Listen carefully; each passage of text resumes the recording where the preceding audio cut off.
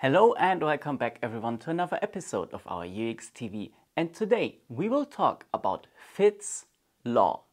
Paul Fitts developed a law that basically says the bigger an element is and the closer it is to the cursor on a desktop computer, the easier it is for the users to hit it. This law basically shows that the interaction time is smaller the closer an element is located to the current position of the cursor and the bigger the element that the user tries to hit is. We as UI and UX designers can use that law to our advantage of course.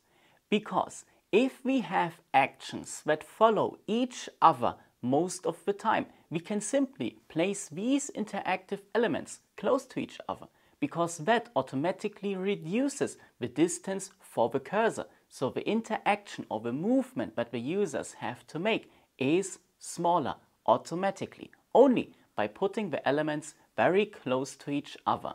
A good sample for that is the amount selection if you want to add something to the basket and the add to basket button.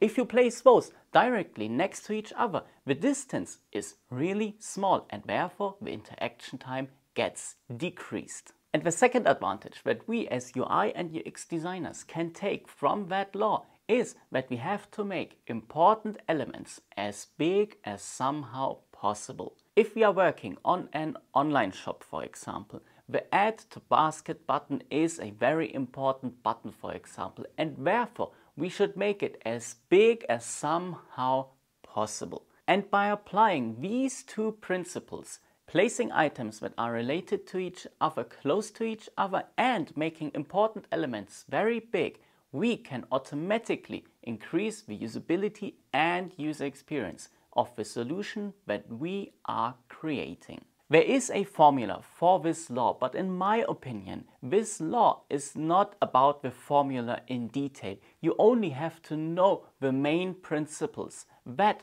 the size of the button, the bigger it is, the easier it is to hit, and that it is about the distance from the current position of the cursor to the item that the users want to hit and you should keep that distance as small as somehow possible.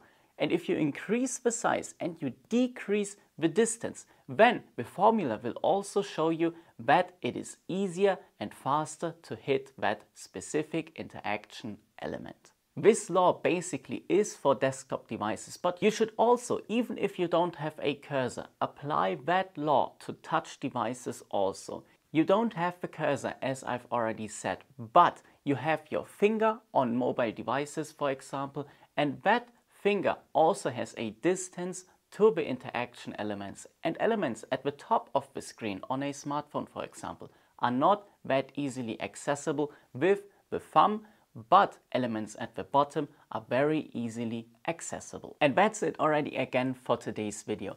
Thank you so much for watching. If you liked that video, please subscribe to our YouTube channel turn the notifications bell on and also hit the like button.